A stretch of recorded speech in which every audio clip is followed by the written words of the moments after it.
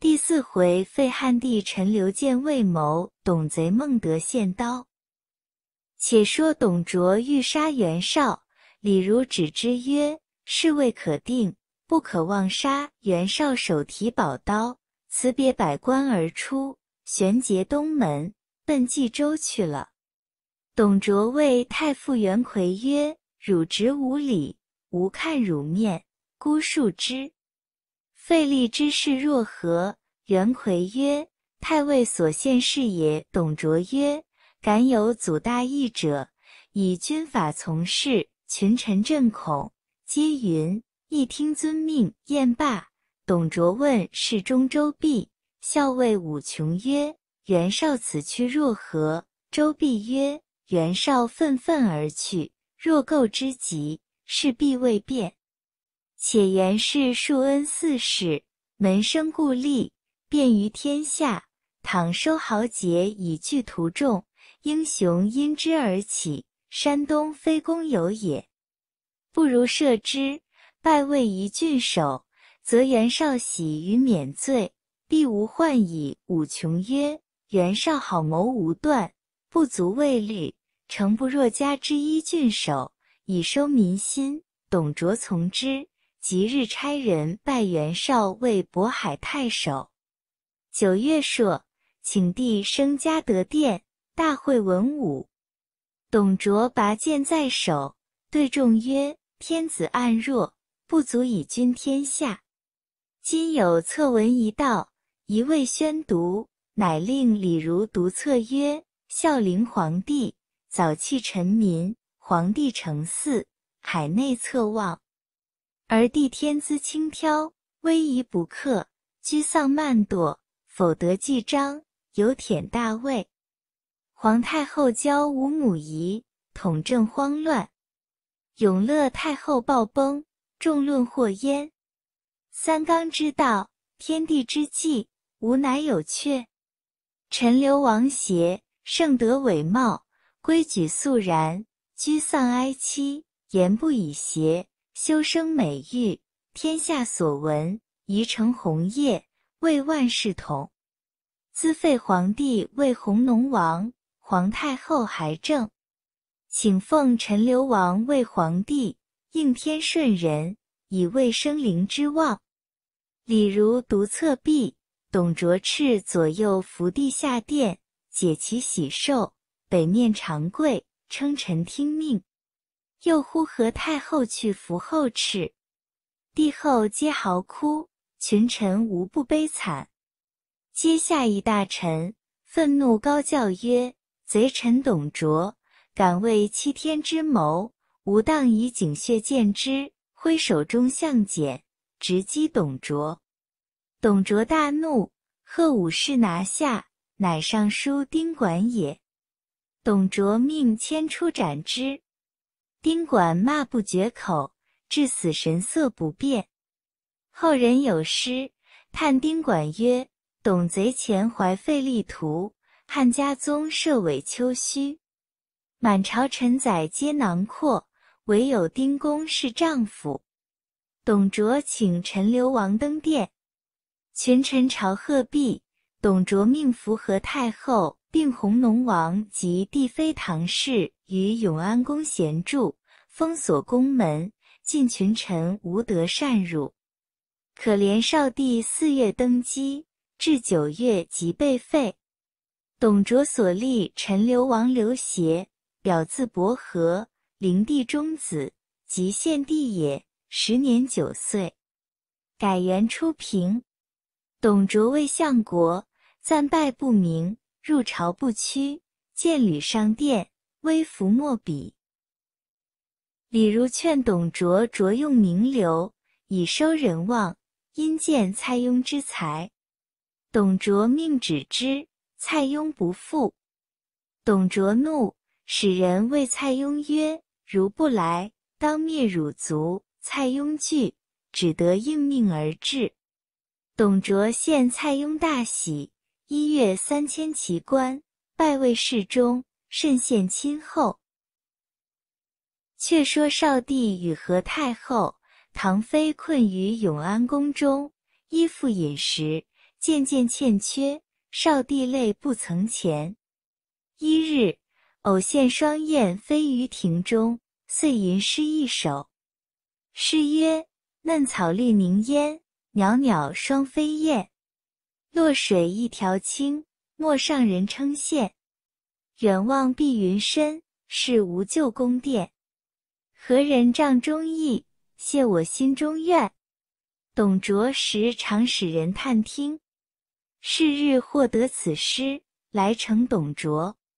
董卓曰：“愿望作诗，杀之有名矣。”遂命李儒带武士十人入宫视帝。帝与太后妃正在楼上，宫女报李儒至，帝大惊。李儒以鸩酒奉帝，帝问何故？李儒曰：“春日融合，董相国特上寿酒。”和太后曰：“既云寿酒，汝可先饮。”李儒怒曰：“汝不饮耶？”忽左右持短刀，白练于前曰：“寿酒不饮，可领此二物。”唐妃跪告曰：“妾身代帝饮酒，愿公存母子性命。”李儒叱曰：“汝何人？可待王死？”乃举酒与何太后曰：“汝可先饮。”何太后大骂。何进无谋，引贼入京，致有今日之祸。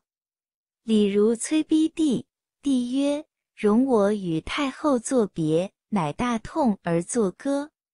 其歌曰：“天地一息日月翻，气万乘兮退守翻。为臣逼兮命不久，大事去兮空泪山。”唐妃亦作歌曰：“皇天将崩兮后土颓。”身为地基兮命不随，生死易路兮从此毕，奈何穷诉兮心中悲。歌罢，相抱而哭。李儒叱曰：“向国立等回报，汝等讹言，望谁救耶？”何太后大骂：“董贼逼我母子，皇天不佑，汝等助恶，必当灭族。”李儒大怒。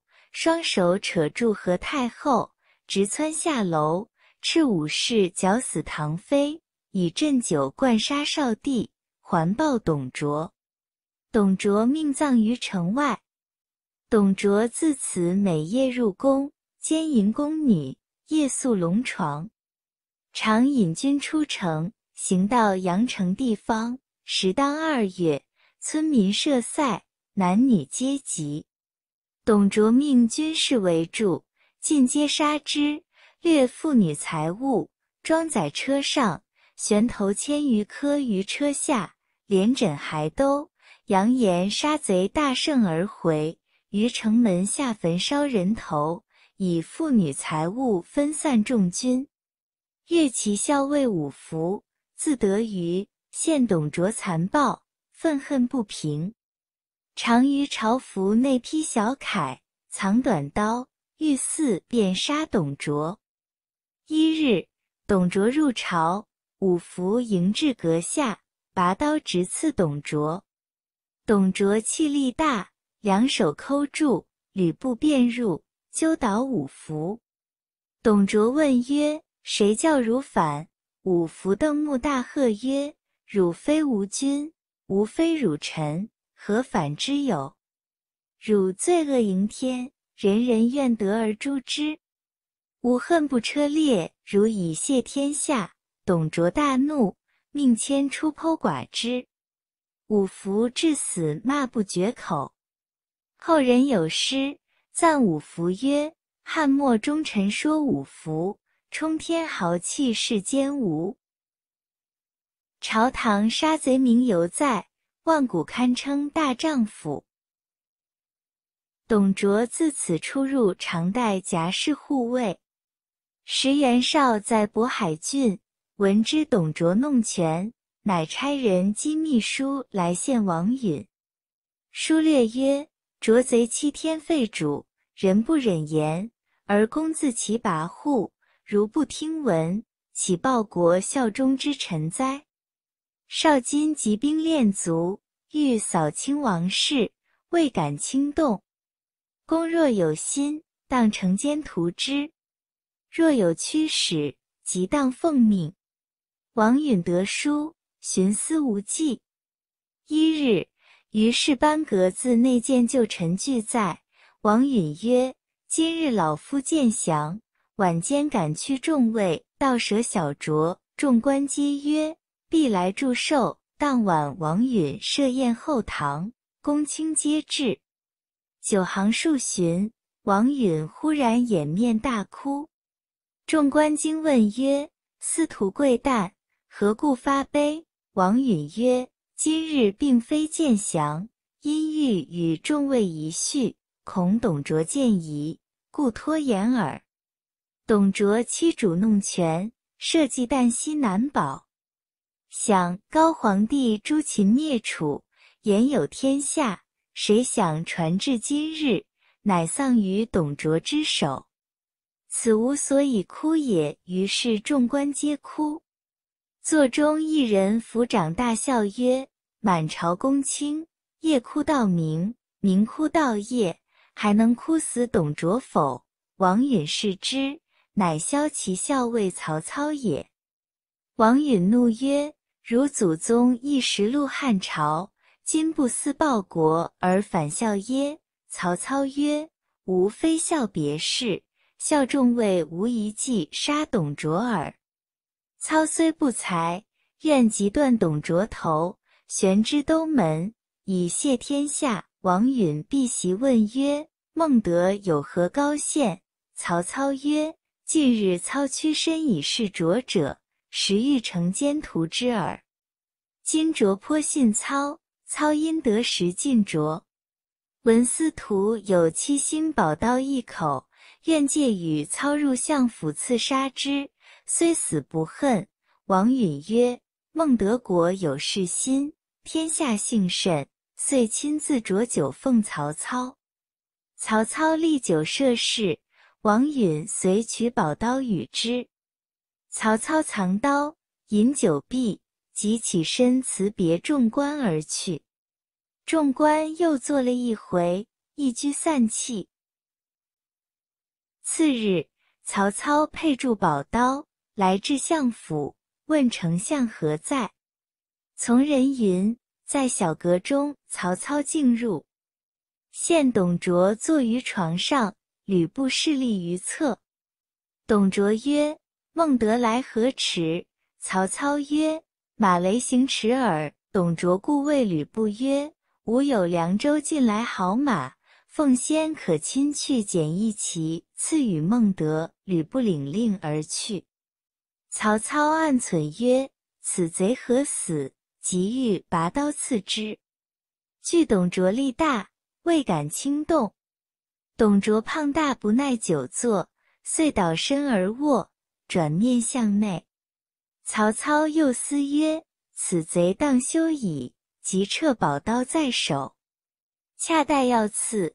不想董卓仰面看衣镜中，赵见曹操在背后拔刀，即回身问曰：“孟德何谓？”时吕布以牵马至阁外，曹操惶惧，乃持刀跪下曰：“操有宝刀一口，献上恩相。”董卓皆视之，见其刀长尺余，七宝嵌饰，极其锋利，国宝刀也。遂递与吕布收了。曹操解鞘赴吕布，董卓引曹操出阁看马。曹操谢曰：“愿借是一骑。”董卓就叫与安配。曹操牵马出相府，加鞭望东南而去。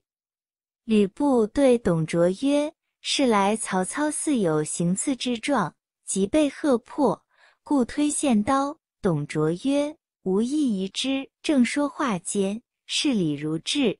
董卓以其事告之。李儒曰：“操无妻小在京，只独居寓所。今差人往召，如彼无疑而便来，则是献刀；如推脱不来，则必是行刺，便可擒而问也。”董卓然其说，即差狱卒四人往唤曹操。去了良久，回报曰：“操不曾回狱，乘马飞出东门。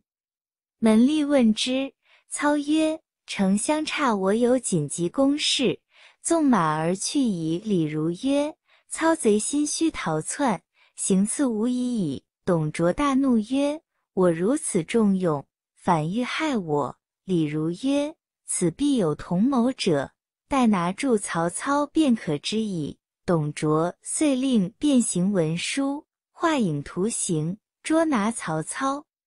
擒献者赏千金，封万户侯；窝藏者同罪。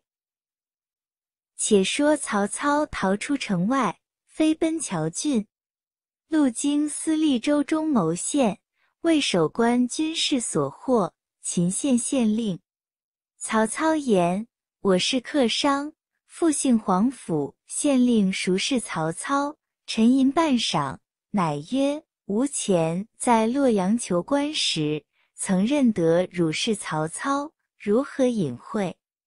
且把来监下，明日解去京师请赏，把官军士赐以酒食而去。”至夜分。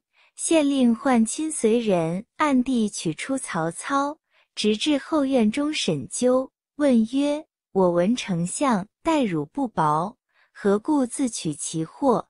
曹操曰：“燕雀安知鸿鹄之哉？汝既拿住我，便当解去请赏，何必多问？”县令平退左右，谓曹操曰：“汝休小觑我，我非俗吏。”乃未遇其主耳。曹操曰：“吾祖宗世时汉禄，若不思报国，与禽兽何异？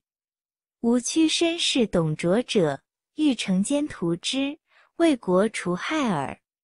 今事不成，乃天意也。”县令曰：“孟德此行，将欲何往？”曹操曰：“吾将归乡里，发矫诏。”召天下诸侯兴兵，共诛董卓，吾之愿也。县令闻言，乃亲视其父，扶之上座，再拜曰：“公真天下忠义之士也。”曹操亦拜，问县令姓名。